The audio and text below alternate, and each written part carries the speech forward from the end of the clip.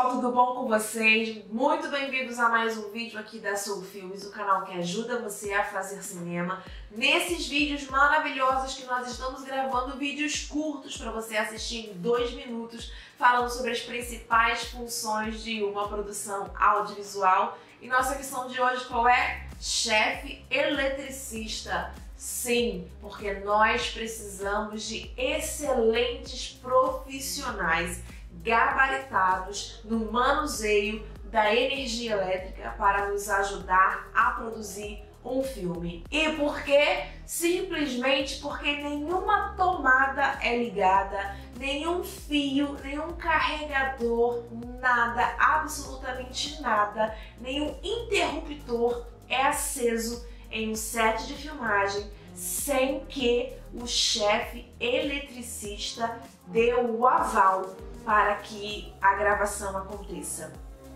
Antes de qualquer filmagem, antes de ligar qualquer tipo de equipamento, o chefe eletricista vai ao, ao local de gravação avaliar como é a corrente elétrica daquele lugar, qual é a potência, qual é a força de energia naquele lugar para saber se aqueles cabos e aquela fiação suportam todos os equipamentos que serão ligados naquele lugar. Então, sim, antes de gravar seu filme em qualquer lugar, tenha a certeza, tenha o aval de alguém que entende de energia elétrica para saber se você pode ligar os seus equipamentos naquela tomada, porque consome muita energia simultânea. Então, jamais comece uma gravação, jamais ligue os seus equipamentos, jamais ligue os seus canhões de luz para filmar uma cena sem que a eletricidade, a corrente elétrica daquele ambiente esteja liberado